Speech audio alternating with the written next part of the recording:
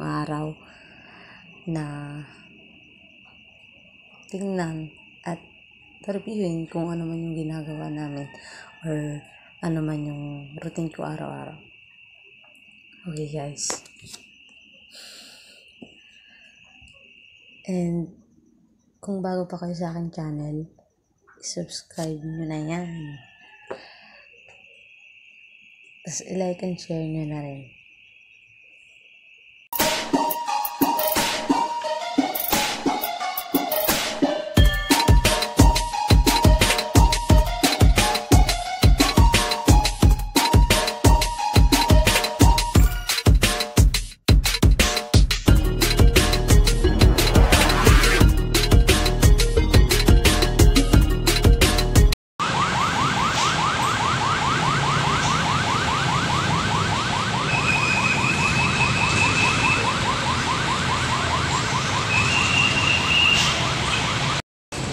Hi guys, pumunta ako ngayon sa shuttle namin. Pupunta sa company. So, samahan niyo ako guys na pumunta sa company namin.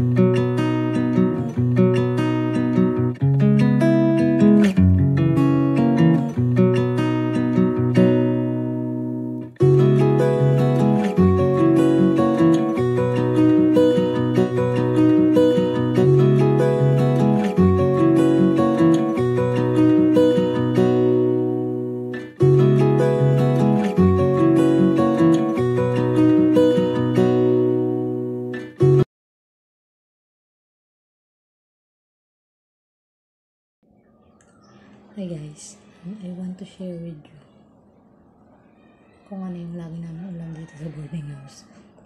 Kasi guys, kailangan namin magtipid.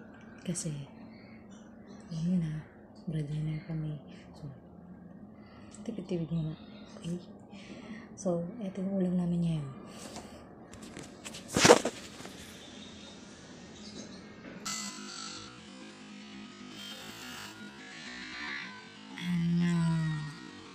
Ilagyan ng pampaasim. Ito, limang piraso ng isda guys. Hindi man isang kilo yun ha. Mahal ang isang kilo ng isda. 200.